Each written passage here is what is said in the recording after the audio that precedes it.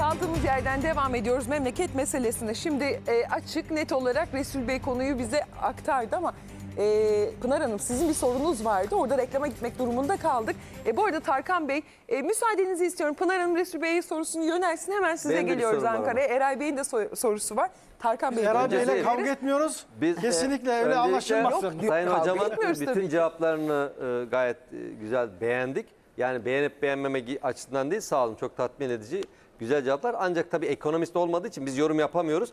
Hazır sizi boğulmuşken böyle bol soruyla Aklınızdaki her kamuoyu şeyi bilgilendirmek istiyoruz. Es- Estağfurullah. Buyurun Evet, Pınar Hanım. Yani hem- bilgi paylaştıkça çoğalır. Evet buyurun. Öyle Ee, düşünüyorum. Yani hem ben de tabii e, çalışma hayatının içinde en nihayetinde bugüne kadar pek çok e, işveren ve işçi uyuşmazlıklarına da tanıklık etmiş biri olarak e, burada hocam önemli olan şu değil mi? Şimdi biraz önce dediniz ki sanayide çalışan e, ve işte kapasite itibariyle 10 bin belki 1500 her neyse buralarda çalışma e, koşulları itibariyle işveren e, çok sıkı denetim altında olduğu için zaten burada bir e, yanlış bir şey yapması, çalışma hukuku, iş hukukuna aykırılık çok zor e, görünüyor ve fiyatlandırma, ücretlendirme de de öyle. Ben naçizane şu an Türkiye'de böyle bir ekonomik krizin olduğu yerlerde ya dönemde e, yanında 2-3 kişi çalıştıran bir küçük işletmecinin ödemesi gereken vergi dilimi, sigorta primi vesaire baktığınızda ya bir e, yurt dışına ihracatı olan 5000 e, çalışanı olan bir tekstilcinin karlılığıyla e, yanında bir mobilya atölyesinde 3 kişi çalıştıran biri kalkacak 8 bin lira maaş ödeyecek, 2 bin lira prim vesaireyle 10 bin lira 3 çalışan 30 bin. Bu adamın kirasını o falan koydunuz mu? Gerçekten o mobilya Benim de Pınar Hanım söylediğim bu zaten. üreticisinin Yani, bakın ha yani buralarda asgari ücreti yani ya farklı koyup devletin burada ekstra bir şey yapması lazım yoksa total bir asgari ücret yani böyle e, tek bir şeyli asgari ücret tanı, düzenlemesi bence e, biraz istihdam noktasında o e, kesimleri zor zor e, Benim şey de yapar. söylediğim o. Bakın ben en başta şunu söyledim. Türkiye'de e, yani sanıldığının aksine büyük işletmelerde veyahut da e, onlarca yüzlerce işçi çalıştıran sektörlerde zaten asgari ücretli e, belki yok denecek kadar azdır. Tarkan Bey de söyledi. Bakın yüzde bir çok hani iyimser bir rakam söyledi yüzde bir. İnanın o da e, ilk defa bu yıl sendikalı olmuştur. E, bir işte sosyal sözleşme yapılmıştır. Ya hele bir alışma e, safahatındadır. Sendikalılıkla ilgili bir alışkanlık olsun diye asgari ücret bir de yanına bir iki kalem sosyal Ama işte- yardım konmuştur ama benim söylediğim o zaten. İşte ama Sadece benim söylediğim atölye de olarak hocam, bakmıyorum ki. işte Ya- iki- yani benim söylediğim o Ama zaten. işte Öyle bir- anayasada eşitlik prensibi var ya yani sizin söylediğiniz ve benim dile getirdiğim şey anayasadaki eşitlik prensibine aykırı olacağından dolayı ya asgari ücreti şu kesim için şu kadar Yapamayız yani. yapamayız ama bununla ilgili ben Fark- çalışma ekonomisi uzmanı söyleyelim size, olmadığımdan buna buna farklı buna bir tabii- çalışma farklı bir Hani şey yapılamaz farklı, mı? Farklı yani görüşleri paylaşalım. Bazı görüşlere göre bir kısım işverenler ve akademisyenler bölgesel asgari ücreti veyahut da sektörel asgari ücreti destekliyor. Yani ben e, açık söyleyeyim hani benim kişisel görüşüm e, tek asgari ücretin daha doğru olacağı yönünde. Ama Bu uygulamada zorluk mu çıkartır yani bölgesel, şöyle, bölgesel sektörel anlamda ücret. Şimdi onu onu savunanların argümanı şu. Diyor ki siz İstanbul'da bir çalışana 5500 lira verdiğinizde bir anlam ifade etmiyor. Ama bu çalışan Hakkari'de, evet çok değerli. Yozgat'ta, Tokat'ta, Mersin'de veyahut da Adıyaman'da, Samsun'da asgari ücretle veyahut da e, Tekirdağ'da, Kırklareli'de Anadolu'da, evet. Tabii fark etmiyor Özellikle yani. kira fiyatlarının Küçük daha uygun olduğu bakın yerlerde. Küçük illerde, değil mi? Küçük illerde kira fiyatlarının ve yaşam standardının daha e, Ulaşım uygun giderleri olduğu, vesaire. Ulaşım, evinden çıkıyor yürüyerek 5 dakikada gidiyor iş yerine. Ulaşım parası vermiyor.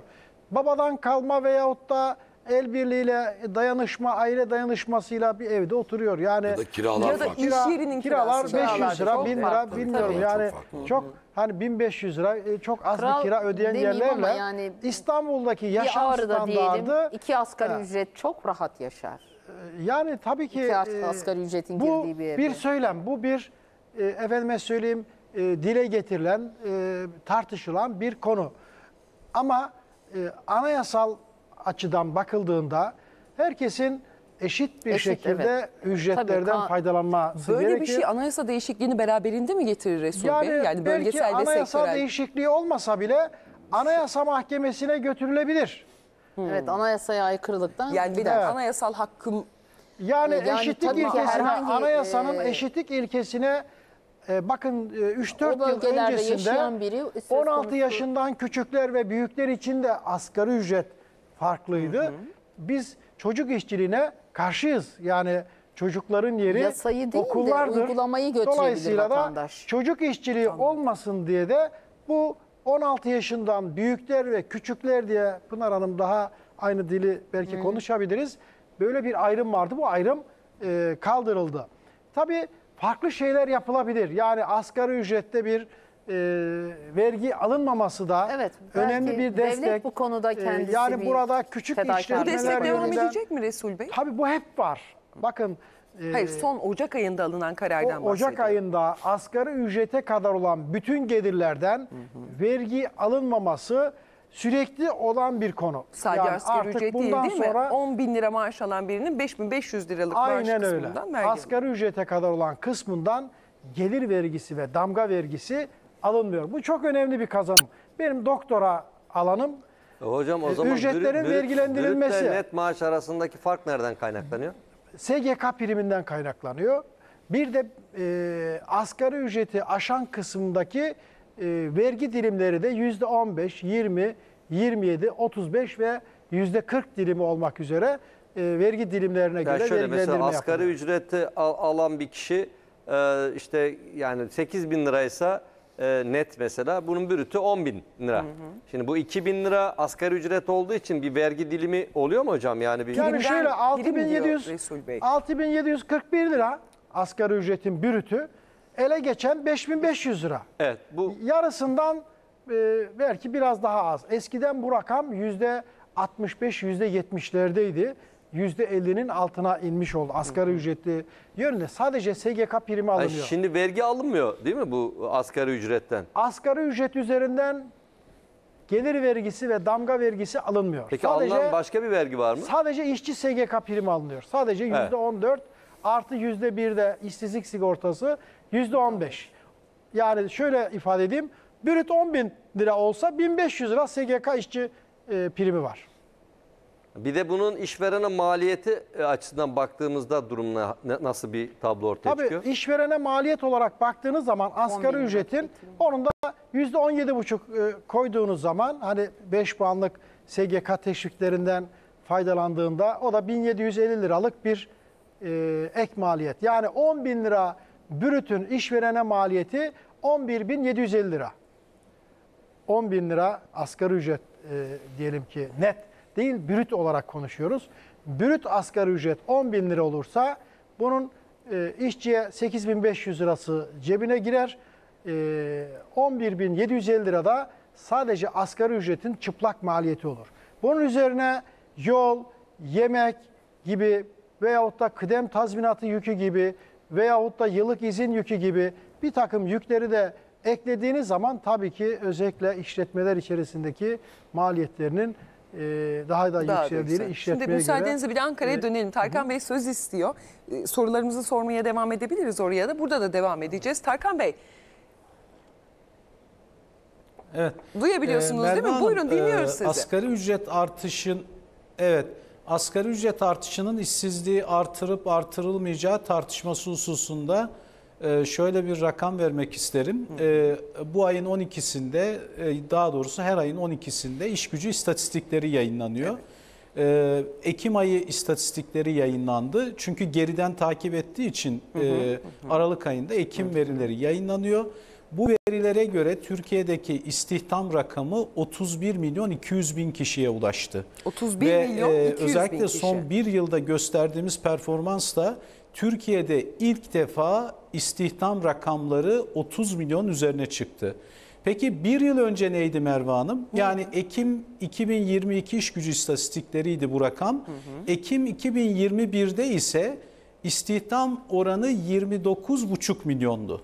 Yani biz bir yılda e, yaklaşık 1 İki milyon milyon. 700 bin Evet, yeni istihdam oluşturduk. Bu son derece e, önemli ve büyük bir rakam. Dolayısıyla asgari ücretin artışının e, işsizliği artıracağı iddiasının da e, yani olma doğru olmadığını gösteren bir rakam. Çünkü Artık bu Türkiye, yeni ekonomi Merve Hanım, modeliyle pek çok e, şeydeki Türkiye- ezberler değişiyor. Bu arada bugün de yıl dönümü. E, buradan da bir kez daha hatırlatmış olalım. Evet. E, Türkiye ekonomi modelinin yıl dönümü. E, pek çok ezber Evet, o Türkiye klasik ekonomi modeli bahsettiğiniz gibi doğru Merve. Hanım. Türkiye enflasyonla birlikte büyümeyi tercih etti. Ee, Evet, dolayısıyla bu e, Türkiye ekonomi modelinin iş gücü piyasalarında olumlu etkisi oldu. Yani %5'lik bir büyüme bir ülkede yaklaşık 750-800 bin yeni istihdam e, oluşturmaya vesile oluyor. E, Dolayısıyla bu tür dönemlerde yani ekonominin büyüdüğü dönemlerde Merve Hanım e, bu çerçevenin doğru olmadığını veriler bize gösteriyor.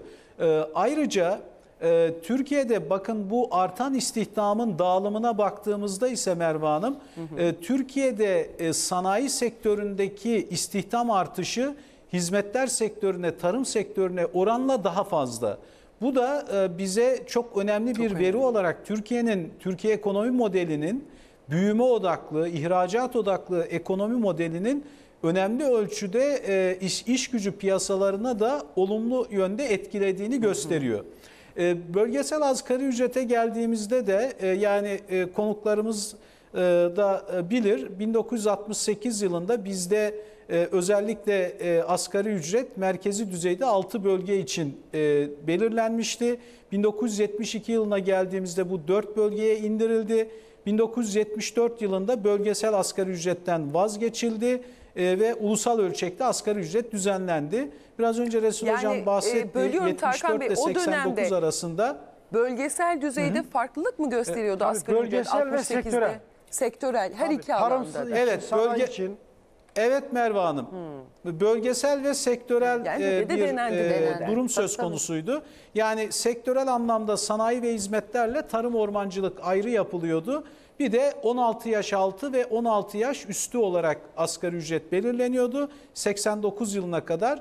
E, sonra e, 2014 yılından itibaren ulusal ölçekte tek tip asgari ücrete geçtik. Ben Şimdi burada Merve? Hanım bölgesel asgari ücreti savunanların genelde iddia diye bir şey var. Ee, özellikle şunu söylüyorlar yani ülkede örneğin şu anda 5500 lira belirlenmişse bu belli bölgelerde daha düşük olsun. Ya ben de genelde bu tür e, söylemlere karşı şunu söylüyorum. Asgari ücret bir taban ücrettir. Dolayısıyla İstanbul'da asgari ücretle İzmir'de, Ankara'da, büyük şehirlerde geçinmek kolay olmadığı için e, diğer bölgelerde 5500 lira asgari ücret olabilir ama buralarda daha yükseğini belirleyelim. Yani bölgesel asgari ücret eğer yapılacaksa e, başka yerlerde belirlenen ulusal ölçekteki asgari ücreti düşürmek değil, e, diğer bölgelerde kira fiyatlarının yüksek olduğu bölgelerde, büyük şehirlerde bunu bir miktar daha artırmakla bunu yapalım. Ya da zaten işverenlerin yani asgari ücret verme zorunluluğu yok. Asgari ücret belirlenirken yasal olarak bu ücretin altında verilmeyecek bir ücret olarak belirleniyor. E, O yüzden e, bölgesel asgari ücrete bakışım da bu. Temel mesele son olarak şunu söyleyebilirim Merve Hanım. Buyurun. Asgari ücret artışlarının özellikle enflasyonist süreçte ve hayat pahalılığının olduğu dönemlerde asgari ücret artışıyla birlikte diğer ücret gelirlerinin ya da emek gelirlerinin asgari ücret oranı kadar artmamasından kaynaklanan bir sorun yaşıyoruz. Yani genel ücretler seviyesini asgari ücretler yoğun olarak e, bu tür dönemlerde desteklenmesi gereken önemli bir kesim enflasyonun tahribatına karşı korunması gereken önemli bir kesim asgari ücretliler olduğu için onlara yüz- e, yüksek zamlar veriliyor ve diğer ücretlerle aradaki makas daralıyor. Dolayısıyla burada da işverenlerin özellikle e, diğer emek gelirlerini de yani asgari ücret üzerinde alınan emek gelirlerini de e, asgari ücret kadar artırmaları e, buradaki dengeyi koruyacaktır Koruyacak. diye düşünüyorum.